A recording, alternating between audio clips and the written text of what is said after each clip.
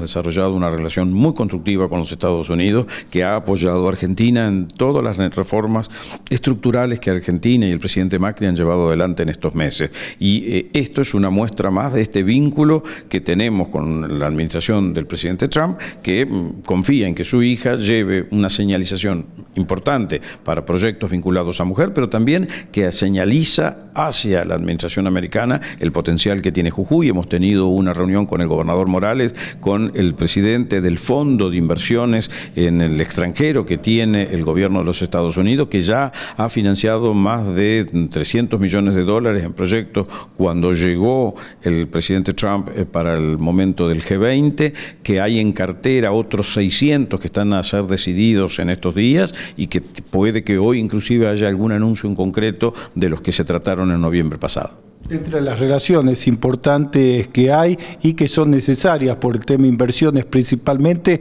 es con China, ¿no? ¿Cómo están justamente A ver, mm, China ha hecho aquí una inversión relevante en, el, proceso, en el proyecto Cachaurí, está vinculado a, la producción de un insumo estratégico como e, es el litio. Mm, bienvenido junto con las inversiones que llevan adelante eh, países como Italia, eh, Francia, Japón, el Reino Unido eh, Argentina es un país que está abierto a la inversión extranjera en condiciones que defiendan, primero, eh, los intereses argentinos, que le den mano de obra a los argentinos, que generen riqueza para los argentinos, que le den eh, capacidad de trabajo y por lo tanto de bienestar.